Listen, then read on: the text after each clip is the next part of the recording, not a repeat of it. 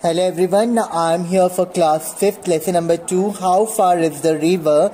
River means नदी यानी कि नदी कितनी दूरी पर Get start Help the boy to reach the river यहाँ पे जो लड़का है आपको हेल्प करने की नदी तक पहुँच सके Now we are going to start reading a chapter Young boy set his heart on going to the river एक यंग लड़का अपने दिल में उसने बात बिठा ली कि उसको क्या देखना है? नदी देखना है। उसको नदी में जाना है। On the other side of the mountain जो कि एक पहाड़ी के पीछे था। डज ही गेट देयर क्या वो वहाँ पे जा सका? तो इसका हम सेक्शन नंबर वन पढ़ेंगे पहले। Section one between the boy and the rivers to the mountain यानी लड़के के बीच में और नदी के बीच में एक क्या था? एक पर्वत खड़ा था, एक पहाड़ खड़ा हुआ था। द बॉय वॉज़ यंग लड़का बहुत छोटा था। द रिवर वॉज़ स्मॉल नदी बहुत छोटी थी and the mountain was big और जो माउंटेन था, जो पर्वत था, पहाड़ था, वो बहुत बड़ा था। The thickly forested mountain forested मतलब जो फॉरेस्ट था जो पर्वत था, उसमें पूरी क्या था? जंगल था, यानी हरियाली हरियाली था। हाइड द रिवर उसने पूरी नदी को छुपा लिया था। But the boy knew it was there but लड़की को पता था कि वो रिवर वहाँ पे है where it was and what it look like आखिर वो कहाँ पे और वो कैसा दिखता है he had never seen the river with his own eyes उसने कभी भी अपनी खुद की आँखों से नदी नहीं देखा था but from the villager he had heard of it but वहाँ के गाँव वालों से विलेजर के द्वारा उसने सुना था of the fish in its water वहाँ के मछलियों के बारे में जो उसके पानी में थी of its rock and current and waterfall है ना? वहाँ के पत्थरों के बारे में और वहाँ के जो पानी बहता है, पर्वत से होके उसके बारे में। And it's only remain for him to touch the water but उस लड़के के लिए बचा था कि वो पानी को छू सके एंड नो इट पर्सनली और उसको पर्सनली जान सके। He stood in front of his house वो अपने घर के सामने एकदम खड़ा रहा on the hill opposite the mountain यानी पर्वत के अपोजिट यानी उसके उल्टी तरफ़ and gaze across the valley dreaming of the river और वो सपन देखने लगा, क्या रिवर के बारे में, नदी के बारे में वो सपने देखने लगा. He was about twelve years old वो बारह साल का था. Sturdy boy with untidy black hair and shining black eyes. He had fine features and clear brown eyes. Boy मतलब क्या होता है एकदम रफ बॉय जिसके साफ़ सुथरे कपड़े ना हो, वो, है ना अनटाइडी ब्लैक हेयर गंदे से untidy hair and shining black eyes और चमकीली काली आँखें, है ना बट उसका he had fine feature fine feature मतलब नैन नक्शा एंड क्लियर ब्राउन स्किन और उसकी स्किन थी, वो भी क्लियर थी brown colour but his hand and feets were rough and scratch but उसके जो हाथ थे और उसके जो पाँव थे, वो बहुत ही ज़्यादा रफ थे। बहुत ज़्यादा रफ थे और स्क्रैचेस थे, यानी खुदड़े हुए थे। He was bare footed not because he couldn't afford shoes but because he felt free in his bare feet है ना? बियर फुटेड मतलब वो हमेशा नंगे पैर रहता था। इसका मतलब ये नहीं कि वो जूते नहीं खरीद सकता था। इसलिए क्योंकि उसको नंगे पैर रहना और पैरों को फ्री छोड़ना उसको बहुत पसंद था। He like the feel of warm stone उसको बहुत पसंद था गरम गरम जो पत्थर पे चलना एंड कूल ग्रास और ठंडी घास। And not wearing shoes saved him the trouble of taking them off है ना? और नॉट वियरिंग शूज़ अगर वो जूते नहीं पहनता तो जितनी भी ट्रबल थी, वो उससे उसको दूर रखते थे। It was 11 o'clock and he knew his parents wouldn't be home till evening.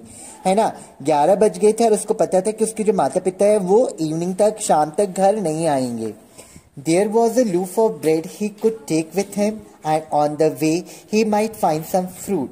here was the opportunity he had waited for. It would not come again for a long time because it was not very often his mother and father visited relatives for the entire day and left him on his own. They had gone out on something important. That was why he had been left with a very sketchy meal a loaf of bread, some milk, and two eggs. है ना? क्या हुआ? उसके पास एक bread का टुकड़ा उसने लिया अपने साथ और रास्ते में उसने क्या सोचा कि उसको कुछ फ्रूट्स मिल जाएँगे, है ना? क्योंकि उसके पास एक अपॉर्चुनिटी बहुत ही सुनहरा अवसर मिला था कि उसके माता पिता जब घर पे नहीं थे, है ना? ऐसा बहुत कम समय होता था जब उसके माता पिता उसके घर पे नहीं रहते थे, ठीक है? तो he went into the house and wrapped the loaf in a newspaper तो वो घर से बाहर निकला और उसने जो लूफ था ब्रेड का टुकड़ा था उसने न्यूज़पेपर में लपेट लिया then he close all the doors and window और उसने सभी दरवाजे और विंडोज़ को क्या कर दिए बंद कर दिए The part of the river dropped steeply into the valley, then rose and went round the big mountain. It was frequently used by the villagers, the woodcutter, milkmen, mule drivers, but there were no villages beyond the mountain or near the river. The boy passed a woodcutter and asked him how far it was to the river. एक वो जो लड़का एक woodcutter के पास से होके निकला और उसने उस वुडकटर से पूछा कि ये जो नदी है वो कितने दूरी पे है the woodcutter was a short but powerful man woodcutter छोटा था बट बहुत ही ताकतवर आदमी था with a greased and weather face greased and weather face मतलब जिसने अपनी लाइफ में बहुत हार्ड वर्क किया, एकदम सख्त चेहरा बोलते हैं उसको. And muscles that stood out in hard ugly lump section two seven mile he said which was fairly accurate why do you want to know उस आदमी ने कहा कि सात मील की दूरी पे है. एक्यूरेट एकदम. है ना? बट तुम क्यों जानना चाहते हो? I am going to the river said the boy लड़की ने कहा, मैं नदी में जा रहा हूँ.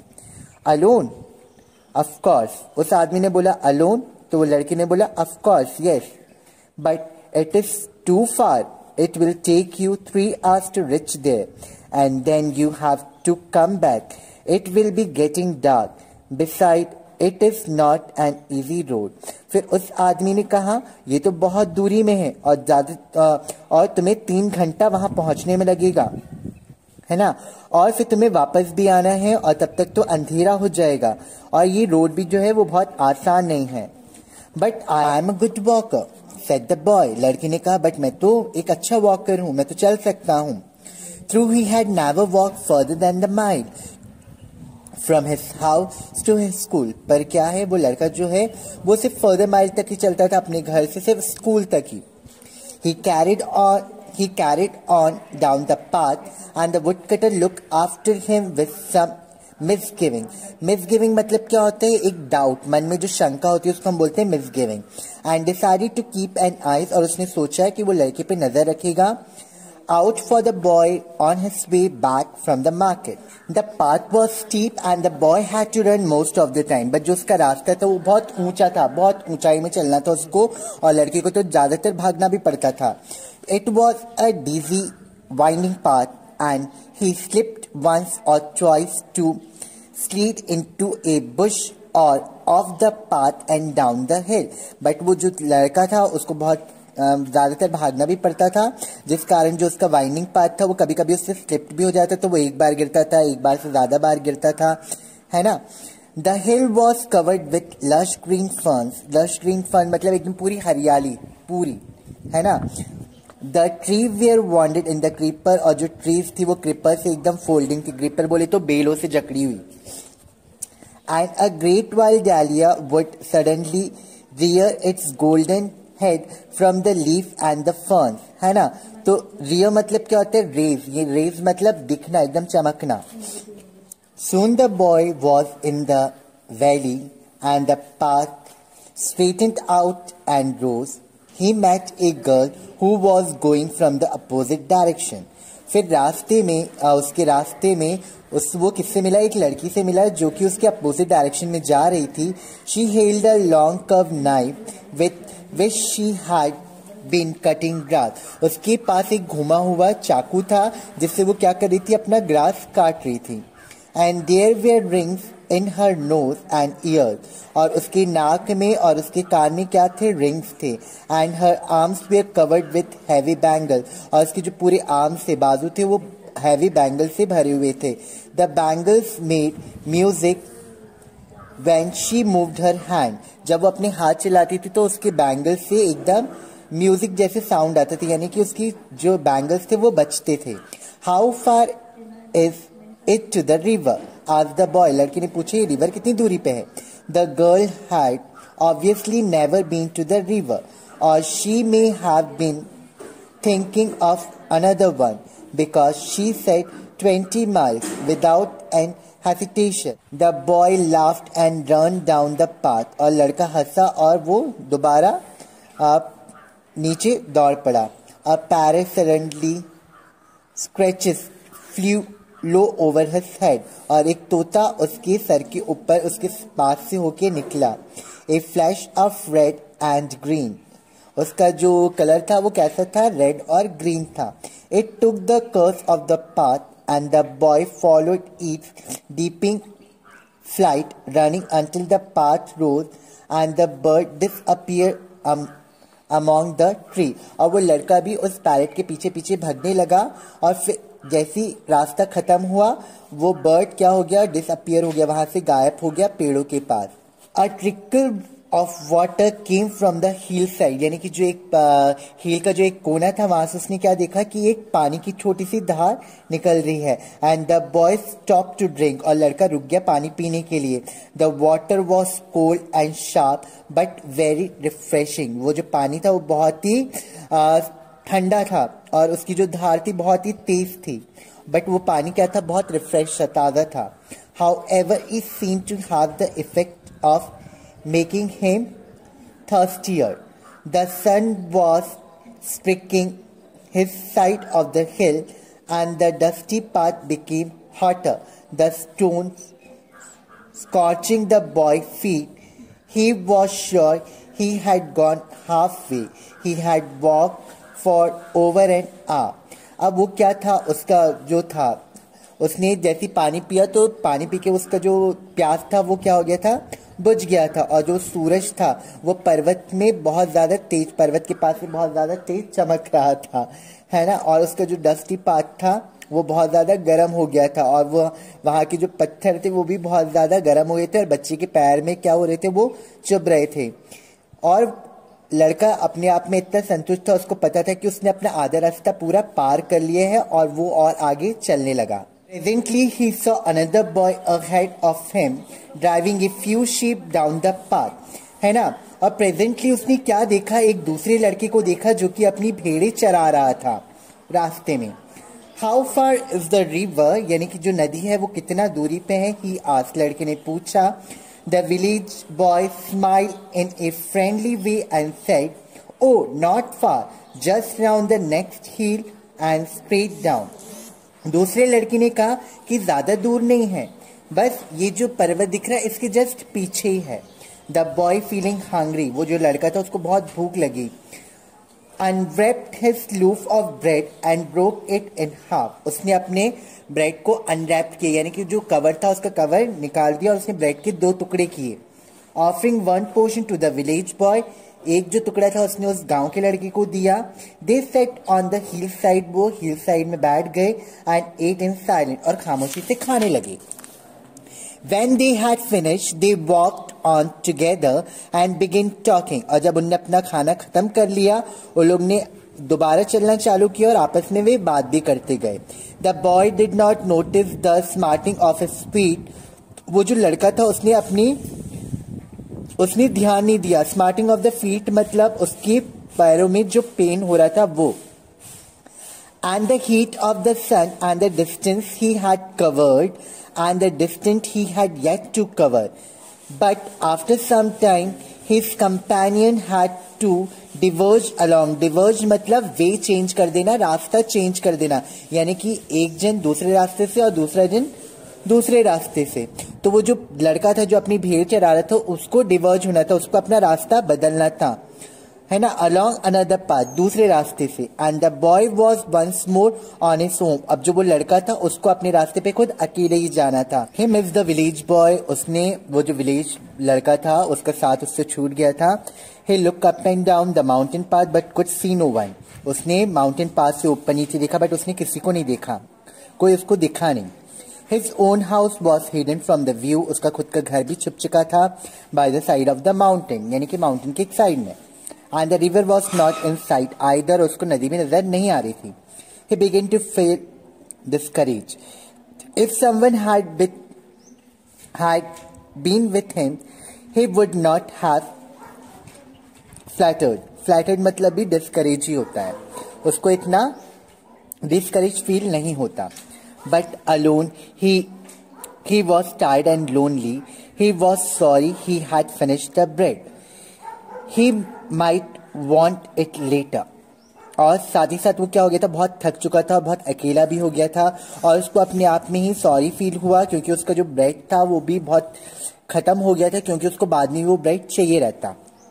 Yet he had come more than half way and he could not turn back but वो आधा आधा और आगे बढ़ चुका था और वो वापस नहीं आ सकता था।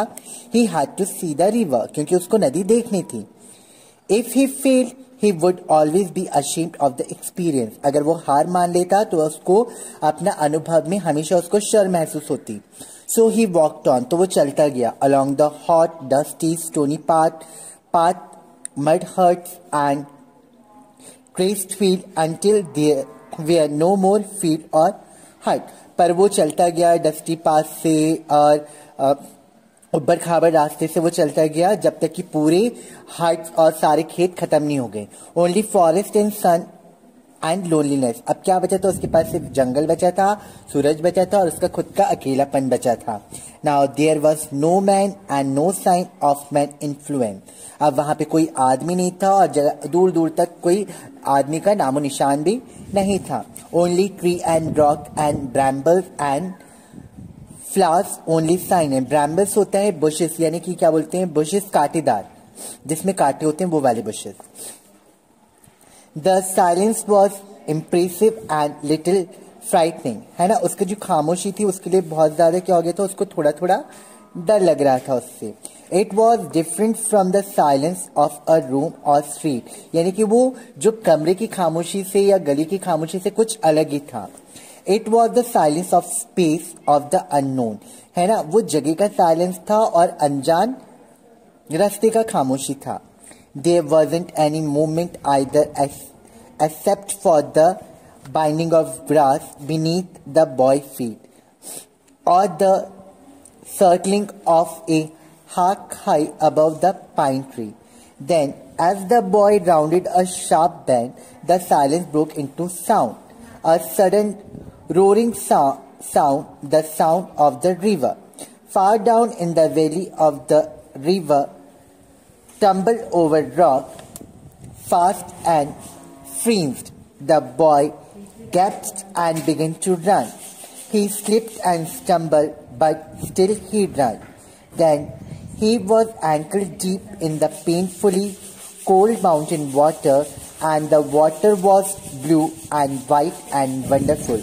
But वो जो लड़का था उसने अपनी एक्सपेक्टेशन नहीं खोई वो घासों से चलता गया है ना और जो पाइन ट्री होता है, उससे होकर चलता गया। बट एकदम से उसने क्या सोचा, उसकी खाम, वो वहाँ का जो वातावरण की खामोशी थी, वो टूट गई और उसको सडनली कुछ आवाज़ आने लगी। और उसको काय की आवाज़ आने लगी? नदी की आवाज़ आने लगी। साउंड होने लगा, पानी का साउंड उसको आने लगा। तो वो एकदम दौड़ता हुआ, गिरता पड़ता हुआ वहाँ तक पहुँचा। उसके पाँव में जितनी तकलीफ़ हो रही थी, उसने वो नहीं देखा, बट वो भागता गया, है ना? और पास जाके उसने क्या देखा? जो पानी था वो बहुत ज़्यादा नीला और सफ़ेद और बहुत ही प्यारा था। Thank you